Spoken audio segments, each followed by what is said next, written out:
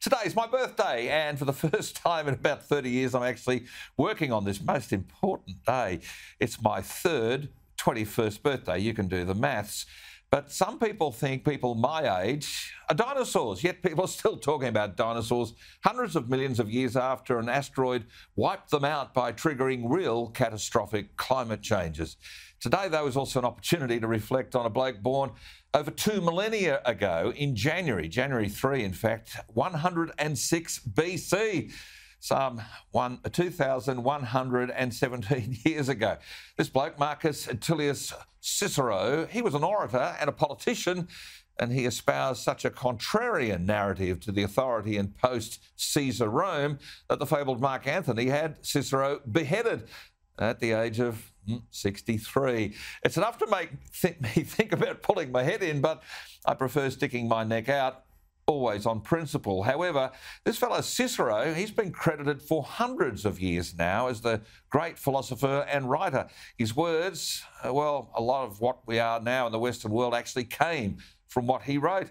Cicero's observations were rediscovered and celebrated at the time of the European Enlightenment, at the time of the great voyages of discovery, like Lieutenant James Cook's scientific journey, which recorded the unique flora and fauna of our island continent.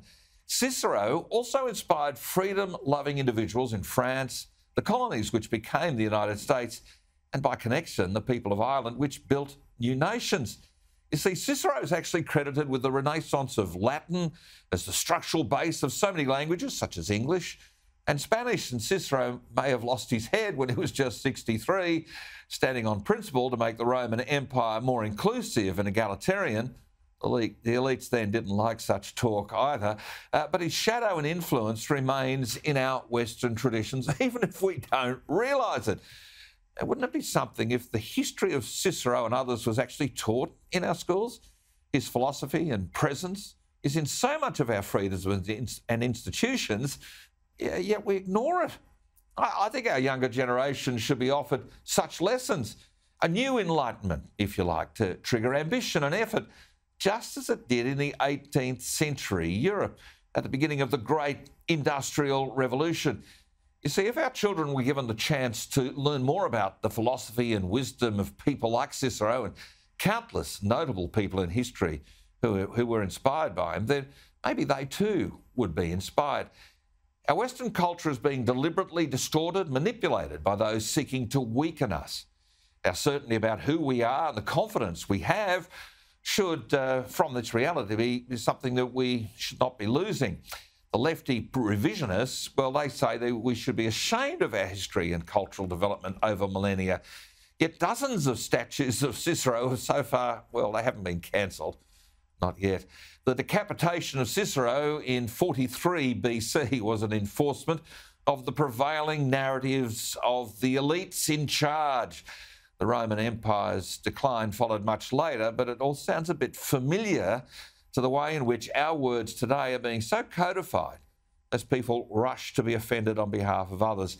However, our values, egalitarianism, traditions, and history have been embraced by so many from other cultural backgrounds because you see, they're just so attractive. But having dumbed down learning, woke world types want us to further weak, be weakened by rejecting those values which have delivered such success for hundreds of years.